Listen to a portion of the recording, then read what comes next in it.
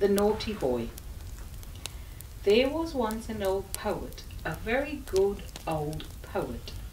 One evening, as he sat at home, there was dreadfully bad weather outside.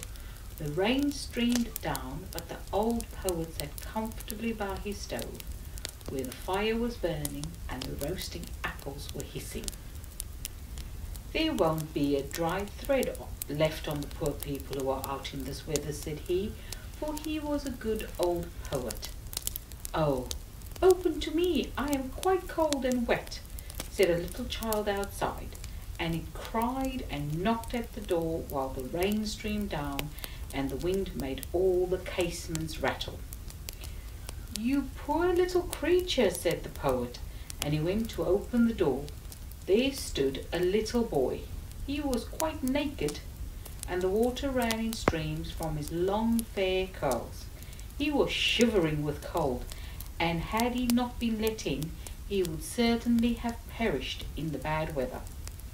You poor little creature, said the poet, and took him by the hand. Come to me, and I will warm you. You shall have wine and an apple, for you are a pretty boy. And so he was.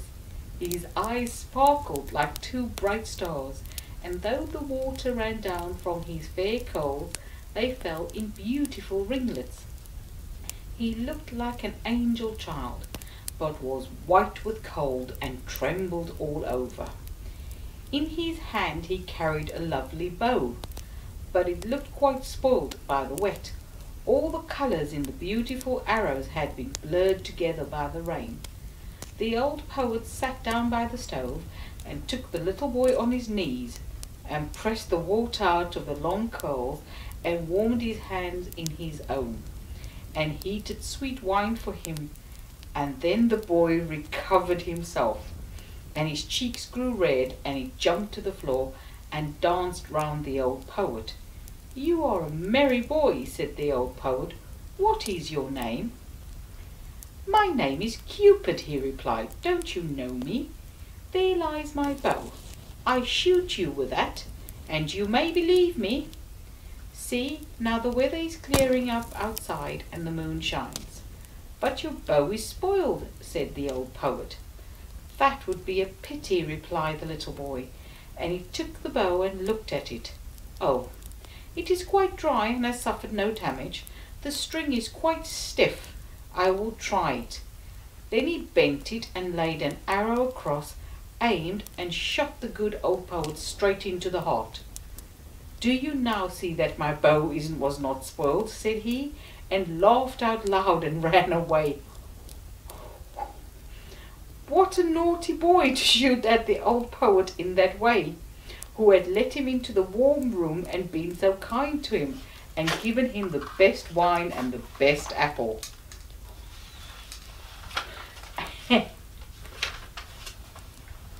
The good poet lay upon the floor and wept he was really shot straight into the heart. Fie, he cried, what a naughty boy this Cupid is. I shall tell that to all good children, so that they may take care and never play with him, for he will do them harm. All good children, girls and boys, to whom he told this, took heed of this naughty Cupid. But still he tricked them, for he is very cunning when the students come out from the lectures, he runs at their side with a book under his arm and has a black coat on. They cannot recognize him at all. And then they take his arm and fancy he is a student too. But he thrusts the arrow into their breasts. When the girls are being prepared for confirmation, he is also after them. Yes, he is always following people.